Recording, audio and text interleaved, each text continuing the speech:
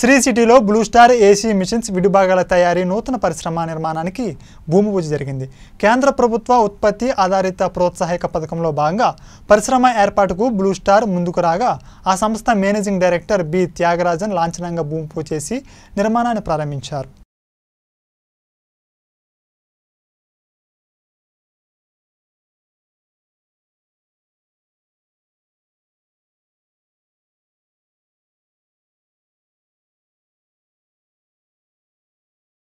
ऋग्भेद अथर्वेद सामवेदाथर्वणः अङ्घैश्च सहितः सर्वे कलश अम्बसमाश्रिताः कलशोदकेन देवनात्मा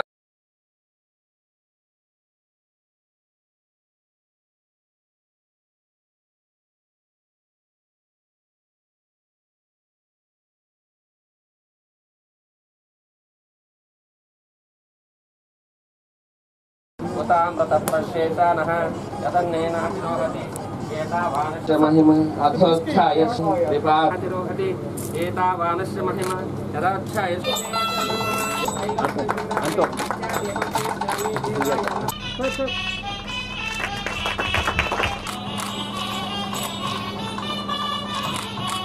It's a, an important milestone for uh, Blue Star in its 78th uh, year of its operations. For a long time, uh, it, there was a need that we should set up a large manufacturing facility here.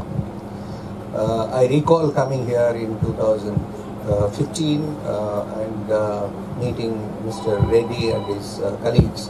Uh, I'd actually visited here along with Mukundan Menon at that point of time, close to our uh, visiting some of the facilities in China.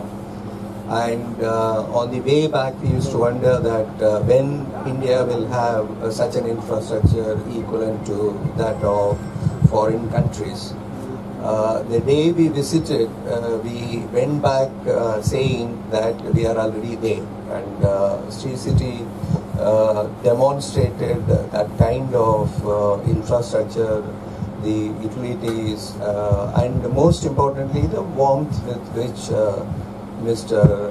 uh, Raju and uh, others demonstrated uh, the uh, that they can uh, bring uh, Indian manufacturing footprint to the global stage. Uh, this project is going to transform the footprint of Blue Star itself uh, in our next phase of uh, growth.